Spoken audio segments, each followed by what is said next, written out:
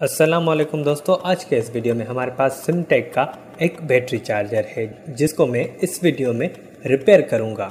दोस्तों, battery charger पर मुख्तलफ fault पर मेरे वीडियो मौजूद हैं। अगर आपने नहीं देखे तो लिंक नीचे डिस्क्रिप्शन में मौजूद है। आप डिस्क्रिप्शन में जाकर वहाँ से वो वीडियो वॉच कर सकते हैं। दोस्तों, आज के इस वीडियो में हमारे पास सिमटेक का एक बैटरी चार्जर है। तो चलिए मैं आपको बताता हूँ कि इसमें क्या प्रॉब्लम है। दोस्तों, जब भी हम इसको 220 में कनेक्ट करते हैं तो ये चलना स्टार्ट हो जाता है और बैटरी वाले टर्मिनल पर हमें 6 वोल्ट देखने को मिलते हैं। ये वोल्ट हमारी बैटरी को चार्ज करने के लिए बहुत कम है। इस पर हमारी बैटरी चार्ज ही नहीं होगी। तो दोस्तों, आप देख सकते हैं कि यहाँ पर 6 वोल्ट मौजूद हैं, जबकि ये चार्जर 12 या फिर 15 वोल्ट का होता है। तो इस चार्जर को ठीक करने के लिए हमें इस चार्जर को खोलना होगा। तो सबसे पहले मैं इसका ढक्कन खोल लेता हूँ। दोस्तों से गुजारिश के इस वीडियो को लाइक कर दें और चैनल को सब्सक्राइब कर दें ताकि ऐसी इन्फॉर्मेशन वाली वीडियो आप तक पहुँचती रहे। दोस्तों, अगर वीडियो के बारे में आपका कोई सवाल है या फिर चार्जर का कोई ऐसा फॉल्ट है तो आप उसके बारे में मुझसे कमेंट में कमेंट करके पूछ सकते हैं। दोस्तों, ये देखें।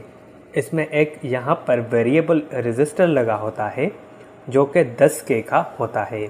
वो रजिस्टर इसमें नहीं लगा हुआ। और उसके बाद दूसरी साइड पर ये यहाँ पर रेगुलेटर लगा है। इस वेरिएबल के बिल्कुल सामने, ये देखें, ये यहाँ पर एल टी चार सौ इकतीस।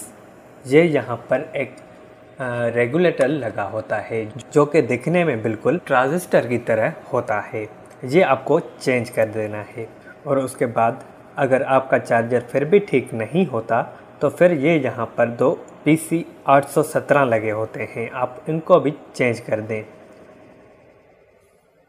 तो दोस्तों, सर्किट बोर्ड बाहर निकालने के बाद ये जो बड़ा कैपेसिटर लगा होता है, इस कैपेसिटर में चार्ज होती है। इसमें से करंट आप निकाल दें।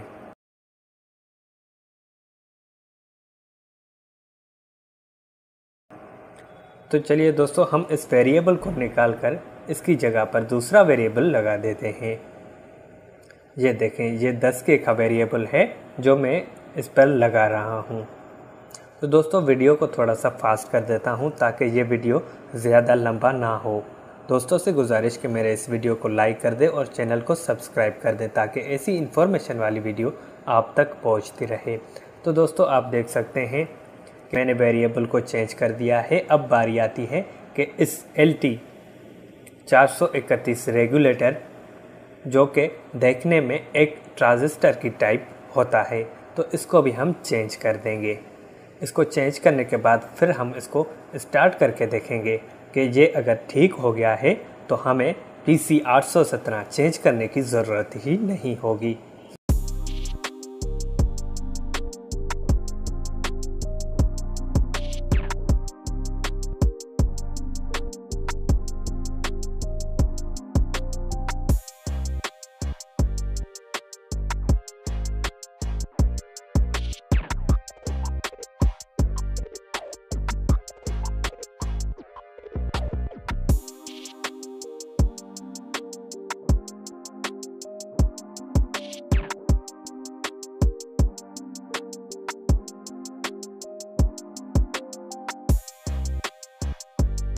चलिए, चला कर देखते हैं।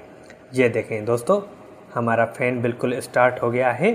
अब मीटर लेकर मैं आपको वोल्टेज के वोल्टेज चेक करवाता हूँ कि अब कितनी वोल्टेज है। ये देखें दोस्तों, ये देखें हमारे चार्जर की वोल्टेज बिल्कुल ठीक आ रही है। मैंने वोल्ट मीटर 50 वोल्ट पर रखा है और यहाँ पर हमें 15 वोल्ट देखने को मिल रहे हैं। तो दोस्तों, अगर आपके चार्जर में भी आउटपुट का प्रॉब्लम है तो आप इस तरह उसको ठीक कर सकते हैं। अगर आउटपुट वोल्टेज बिल्कुल कम आ रही है तो आप इस वेरिएबल या फिर इस टी एल को चेंज करेंगे। अगर इन दोनों चेंज करने से भी, फिर भी हमारी वोल्टेज 15 वोल्ट तक नहीं आती तो फिर आप इस पी सी को चेंज कर देंगे। ज़्यादातर प्रॉब्लम इस टी एल की होती है।